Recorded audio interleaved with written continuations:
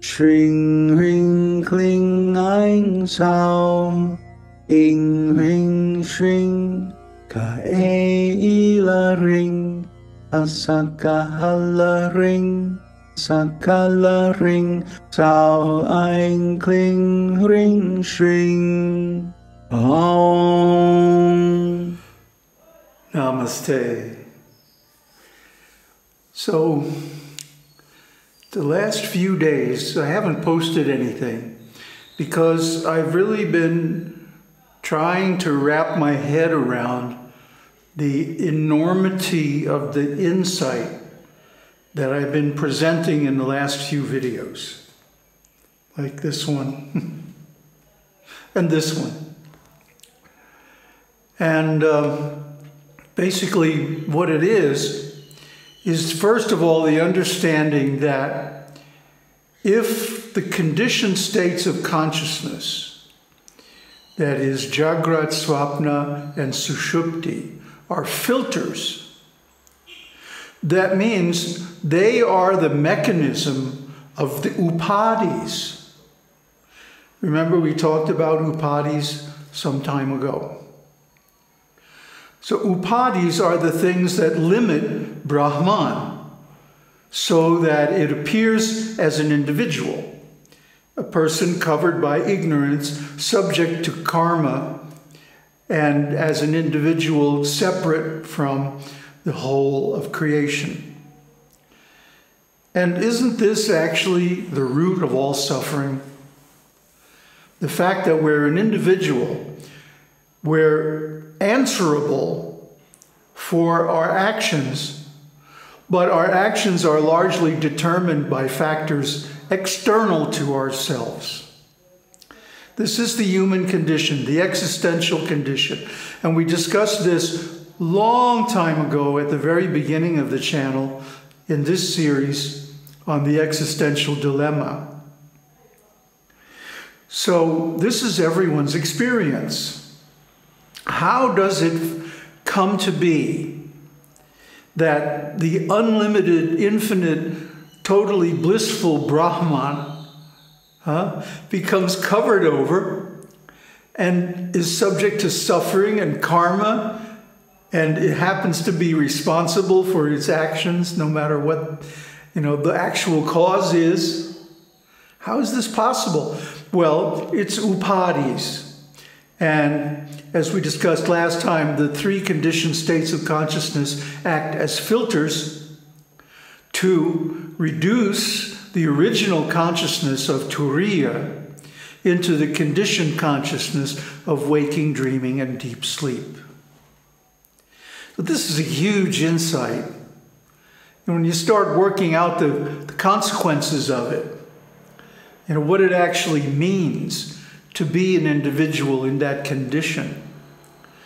Well, it just about explains everything. You know, everything about our experience as human beings in this world.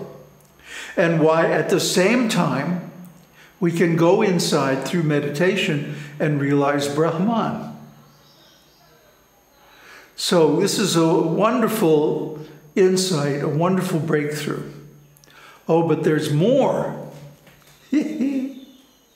See, the goddess has been showing me these things slowly, slowly, opening up my consciousness to these insights. And they're radical, they're completely amazing. But when you once you hear them, it's like, oh yeah, of course, obviously. so the insight that's blowing my mind today is the correlation between the four states of consciousness and Buddha's teaching of Paticca Samuppada.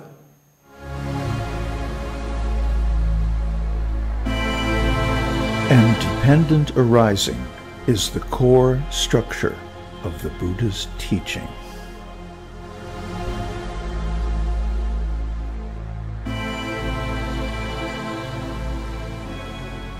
Paticca Samuppada begins from ignorance, then sankhara, consciousness, name and form, Six senses contact, feeling, craving, grasping, becoming, birth, decay, suffering, and death. Then confidence, delight, joy, serenity, ease, concentration, knowledge, disenchantment, detachment, emancipation, extinction, and finally nibbana.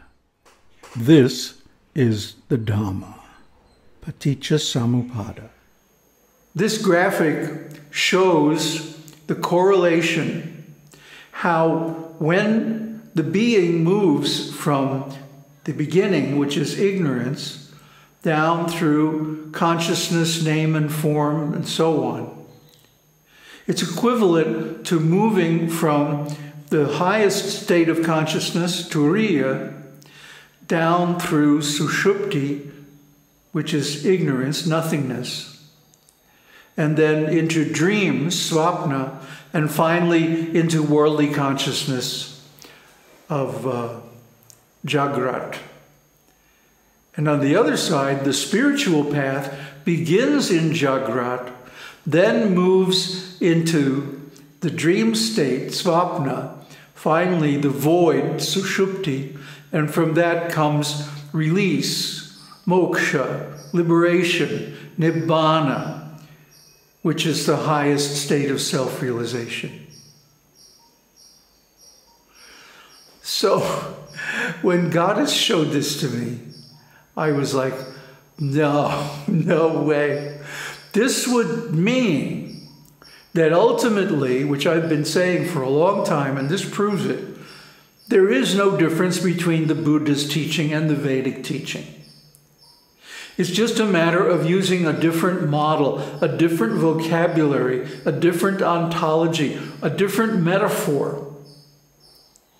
But the actual teaching and the experience of the teaching is the same in terms of the states of consciousness one goes through. So I've been just like walking around, you know, mumbling to myself. looking at Arunachala and going, wow, this, this is nuts. This is wild. This is crazy. This is great. This is great because it means the unity of spiritual knowledge at the root. This is a very important thing, something we have been preaching and teaching all along on faith as the esoteric teaching Actually, not on faith, but based on our own experience. But we had to go deep into the scriptures and deep into meditation to confirm our hunch, our theory, huh? our postulate that this is really the way it is. The real nature of reality is that everything is one. Yeah, I know, we've heard this a thousand times before, but what is the proof and how does it work? So these explanations give that structural knowledge, that ontological knowledge, to show how it works and why it is the way it is. So this is deeper than just taking it on faith. Yeah, it's all one. Yeah, right. You ask any of these people to explain, well, how is it all one? They can't do a very good job, you know? They say, well, Brahman is one and everything is Brahman, so everything is one. You know, but how is everything one? And why are there states that in, in which you cannot see this? Where it's not obvious, it's not observable, it's not experiential. Why are there stages on the path that require faith and that use metaphors that are constructions, obviously, to talk about gods and goddesses and the whole uh, life cycle of the universe and so on and so which no one, at least on this planet, has directly observed. In other words, it requires faith. So there must be a level of reality like that, but who has experienced that? See? Only someone very advanced in meditation and bhakti. So this just clears so many doubts, answers so many questions that I think it's going to become, you know, the, the root on which our whole teaching stands. It's going to become the trunk of the tree of knowledge. That means that all branches of Vedic knowledge and ultimately all religions, because they're all connected to the Vedic knowledge ultimately, all religions can be shown to have the same root teachings. And that explains everything. And the only reason there are so many religions anyway is because of people's greed and profit motive and political divide and conquer. Like that was the reason behind, for example, Buddhism divorcing itself from the Vedic culture. And the same goes for Islam. Uh, there, there was really no need for another religion, but politically, it had some function. And the same thing with like ISKCON and, you know, so many different sects and cults that really don't need to be separate from the mainstream of Vedic culture. And when we say that, what do we mean? The Vedas, the Upanishads. Uh, the Upanishads clearly state that Brahman is the absolute. That's what we should be trying to realize not these different different Vishnu forms and demigods and so on like that. Why do they exist? Only to serve as objects of worship in the different stages of development of consciousness. And once that stage is surpassed, that metaphor can be dropped and a higher view can be taken up. So it's not surprising then that Buddha denied the reality of God and so on like this.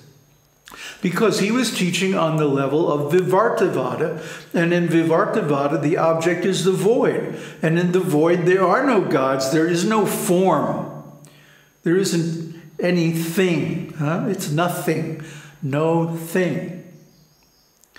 So, on that level of consciousness, which is just prior to realization of Brahman, then there is no need for any metaphor because there is no form, there is no dimension, no movement, no time, no space, no cause and effect, in other words, no karma.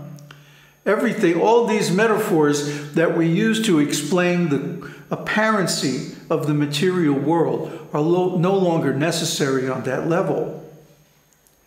So, when we're in that level, we don't need any of these crutches or any of these structures or any of these semantic tools or metaphors or ontologies. Uh, nothing is just nothing. and it's a wonderful refuge from the world. So, these are the reasons behind the way we teach, and even we come up with some radical points of view about sexuality and tantra and meditation and all of this. It's all okay, huh? Nobody needs to get upset and argue and, and post nasty comments and all like this. Why? Because on that level of consciousness, it's a dream. And your dream can be whatever you want it to be. Whatever makes you happy, whatever makes you feel satisfied. Psychologically, what's happening is that we're compensating for the various traumas in our lives and the various emotional effects of those traumas. So, whatever you need to dream to make it all okay, so you can worship God or Goddess, that's, that's all right. So, there's room for so many different interpretations of religion. In fact, there's a necessity for them to meet the needs of so many different kinds of people. This is the compassion of the goddess. So, on that level, there's a need. And on the level of karma yoga, there's a need.